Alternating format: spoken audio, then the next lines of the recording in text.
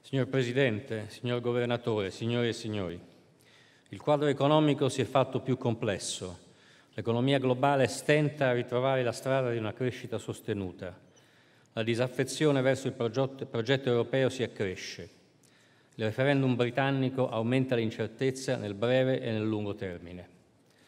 Questo è il contesto nel quale si trova ad operare il sistema finanziario italiano, proprio mentre attraversa una fase di adattamento al nuovo regime regolatorio nato con l'Unione bancaria. Le finalità del nuovo ordinamento europeo per il settore bancario perseguono la stabilità finanziaria e nel caso di salvataggi pongono limiti al ricorso a risorse pubbliche e quindi al coinvolgimento dei contribuenti. Tuttavia, gli effetti di sistema dell'applicazione delle nuove regole saranno pienamente compresi soltanto una volta che le regole saranno messe alla prova. Il Governo in questo contesto lavora per mettere in campo strumenti con i quali gestire le criticità. Ne è un esempio l'intesa con la Commissione europea per l'impiego di garanzie pubbliche a sostegno della liquidità degli istituti. Il dialogo con le autorità dell'Unione è continuo e ha lo scopo di esplorare tutte le modalità di intervento pubblico ammesse dalle regole degli aiuti di Stato. Il Governo intende tutelare il risparmio, secondo il mandato della Costituzione della Repubblica. Questo contesto, questo contesto comunque non deve far dimenticare lo sforzo di riforma per il rafforzamento dei fondamentali del sistema Grazie alle misure prese negli ultimi 18 mesi, la struttura del settore del credito nel nostro Paese sta cambiando la propria fisionomia. Le riforme consegnano al Paese un sistema del credito diversificato nelle fonti, consolidato nel numero degli operatori, trasparente nella governance, più solido e resiliente. Il Governo è intervenuto con una serie organica di misure, la riforma delle banche popolari, l'autoriforma delle fondazioni bancarie, la riforma delle BCC. I benefici attesi dall'intervento sulle banche popolari sono duplici. Le aggregazioni migliorano l'efficienza e la competitività grazie alle economie di scala. Le quotazioni migliorano la governance grazie a una maggiore trasparenza. L'autoriforma delle BCC costituisce un tassello del più ampio disegno di ristrutturazione del sistema bancario, necessario per consentire a quest'ultimo di tornare a finanziare adeguatamente l'economia reale. La riforma si prefigge di superare le criticità del settore, preservando al contempo le caratteristiche proprie del credito cooperativo.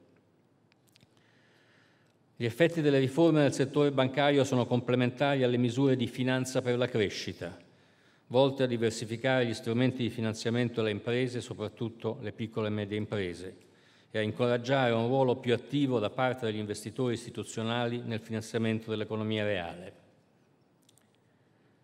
I problemi strutturali e di governance del settore bancario si sono accompagnati tradizionalmente ai limiti della giustizia civile, che rende tra l'altro più lunghi che in altri paesi i tempi di recupero dei crediti. Il Governo ha introdotto misure per il miglioramento della qualità e dell'efficienza dell'attività bancaria, quali provvedimenti per facilitare lo smobilizzo dei crediti in sofferenza, che comprendono anche disposizioni per semplificare e migliorare le procedure concorsuali ed esecutive e ad accelerare i tempi di recupero dei crediti. Tra le disposizioni dell'ultimo decreto ricordo l'introduzione del patto marciano, in presenza del quale i tempi di recupero del credito passano dagli attuali 40 a 7-8 mesi. Un altro strumento è il pegno non possessorio, che permette all'imprenditore di non perdere la disponibilità del bene dato in pegno. In questo modo l'imprenditore può continuare ad utilizzare il bene nel processo produttivo. Secondo stime indipendenti, l'insieme delle misure di semplificazione e modifica delle procedure concorsuali varate dal Governo dal 2015 in poi hanno un impatto sul recupero crediti nella misura di tre anni di riduzione sui tempi medi. Tra le iniziative del Governo per migliorare la gestione dello stock di sofferenze vanno ricordate anche le disposizioni che definiscono un meccanismo di garanzia per la cartolarizzazione delle sofferenze, cosiddetto GACS, presenti nei bilanci bancari, sul quale la Commissione europea ha convenuto che non sussistano aiuti di Stato. Dal mercato arrivano i primi segnali a conferma che il GACS sia uno strumento utile per smaltire progressivamente lo stock di crediti deteriorati. Un impulso al mercato dei crediti in sofferenza potrà derivare dall'intervento di operatori privati specializzati. Con questo spirito è nato il Fondo Atlante, che può investire sia negli aumenti di capitale di banche italiane richiesti dall'autorità di vigilanza, sia, unitamente ad altri investitori di mercato, in tranche di veicoli creati a sostegno dei bilanci degli istituti italiani gravati da sofferenze e non performing loans. L'intervento di Atlante è complementare con le riforme del sistema bancario avviato dal governo, che incrementano efficienza, trasparenza e incoraggiano processi di consolidamento. In pochi anni in Europa è stato approvato un complesso di provvedimenti normativi in materia bancaria senza precedenti. Ricordo tra questi la direttiva sul risanamento e la risoluzione delle banche, quella sugli schemi di garanzia dei depositi, i regolamenti che hanno istituito il meccanismo di vigilanza unico, il meccanismo unico di risoluzione, l'accordo intergovernativo sul trasferimento al fondo di risoluzione delle contribuzioni a livello nazionale. A questi si aggiungono quelle di livello 2. La revisione del quadro normativo intende ridurre la possibilità di future crisi e migliorare la resilienza delle banche, sia in caso di stress causato da perturbazioni sistemiche che da cause idiosincratiche, soprattutto grazie al rafforzamento dei requisiti prudenziali e al potenziamento degli strumenti di supervisione. La nuova normativa è molto esigente. La sua attuazione prevede elementi di flessibilità che vanno sfruttati in pieno, soprattutto in caso di rischio sistemico. Il disegno dell'Unione bancaria non è peraltro completato.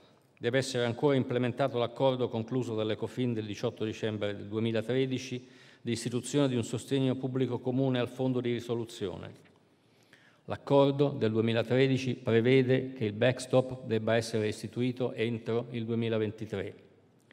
Nulla impedisce di agire subito. Non è stato ancora istituito il terzo pilastro dell'Unione bancaria, il meccanismo unico di garanzia dei depositi. La Commissione ha avanzato una proposta di regolamento che prevede una graduale costruzione di un sistema unico di garanzia, che porterebbe a realizzare la piena assicurazione europea a partire dal 2024, in coincidenza con la piena mutualizzazione del Fondo di risoluzione unico. L'Italia sostiene con convinzione la creazione di un sistema comune di assicurazione dei depositi, che permetterebbe di realizzare una più completa mutualizzazione del rischio bancario nell'area euro e contribuirebbe ad allentare il legame fra le banche e gli Stati sovrani, garantendo a tutti i depositanti lo stesso livello di garanzia e di protezione.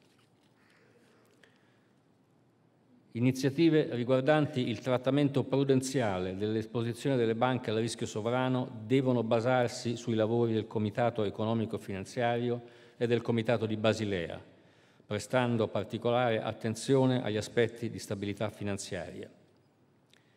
Più in generale, è da ritenere, come molti dei miei colleghi europea, europei condividono, che sia necessario procedere a una condivisione dei rischi in parallelo a una loro riduzione Molto è stato già fatto a livello europeo per la riduzione dei rischi. Molto l'Italia ha fatto a livello domestico, come sopra suggerito. Va a rilento invece il momento della condivisione dei rischi, che deve essere invece rafforzato e accelerato. Signore e signori, i mercati hanno reagito al referendum britannico con nervosismo, ampie oscillazioni dei corsi, prevalenza delle prospettive a breve termine su quelle di lungo termine, anche a causa dell'incertezza sul futuro processo decisionale in Europa. Si deve resistere alla tentazione di reagire con il nervosismo al nervosismo. Si devono prendere decisioni basate su una prospettiva di lungo termine rivolta al futuro. Nel contesto di un settore bancario poggiato su fondamentali solidi, anche e soprattutto se confrontati con quelli di altri sistemi paese, esistono alcuni elementi di criticità. Questi possono essere affrontati e risolti con benefici per l'intero sistema con soluzioni di mercato, soluzioni forse complesse, ma sicuramente possibili ed efficaci, soprattutto se guidate da un atteggiamento cooperativo. Il ruolo della mano pubblica in queste condizioni deve essere di natura precauzionale. Il Governo si sta adoperando per mettere a disposizione strumenti adeguati qualora fossero necessari. Grazie.